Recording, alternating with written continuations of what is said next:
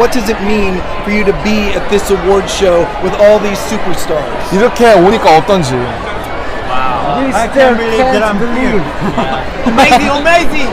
It is an AMA! Thanks for invite this AMA. Okay. We still can't believe we're going to get the AMA. yes, that's right.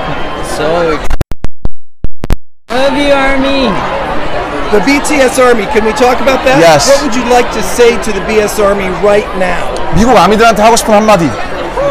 Okay, Come on. thank you for having us here. We will show you everything tonight. Thank you. Thank you. You guys making us, you know, you guys brought us here, so it's it's like the most amazing thing that's ever you know happened to us. So and thank you very much, and we'll do our best tonight.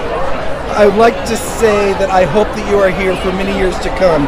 You're a very pleasant young man who it, it, I appreciate seeing how much you care to be a part of this.